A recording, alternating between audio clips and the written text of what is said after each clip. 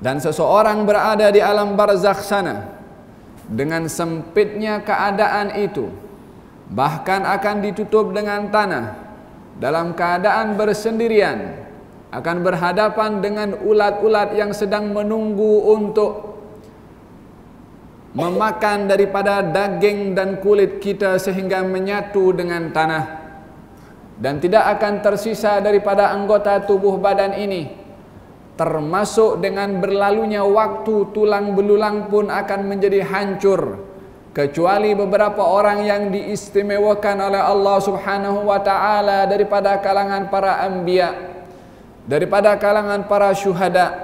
daripada kalangan mereka yang hafiz Al-Qur'an daripada kalangan mereka yang ketika hidup di dunia itu mempunyai aktivitas azan dan juga qamat di masjid ataupun kerjanya adalah azan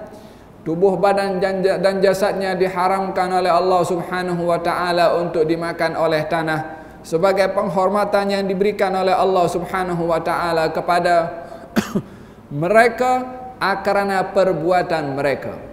karena amalan mereka. Bagaimana sehingga perbuatan seseorang di dunia ini yang membezakan satu dengan yang lain menyebabkan tanah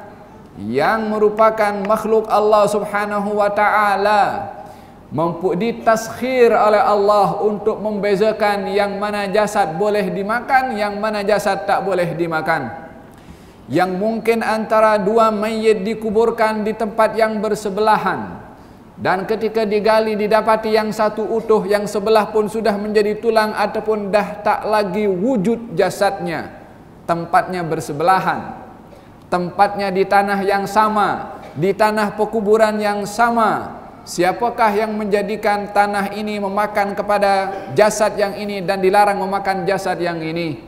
Innahu Allah subhanahu wa ta'ala yang tahu memberikan anugerah kepada beberapa daripada hambanya untuk diistimewakan tanah pun juga patuh kepada Allah untuk tidak menyentuh jasad yang kedudukannya tinggi di sisi Allah daripada kalangan para anbiya, para syuhada, hafizul Quran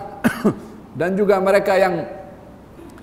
uh, bertugas sebagai bilal ataupun muadzin. Demikian Allah Subhanahu wa taala menzahirkan kemuliaan golongan-golongan tertentu termasuk ketika sudah berada di alam barzakhnya dimuliakan juga oleh Allah Subhanahu wa taala.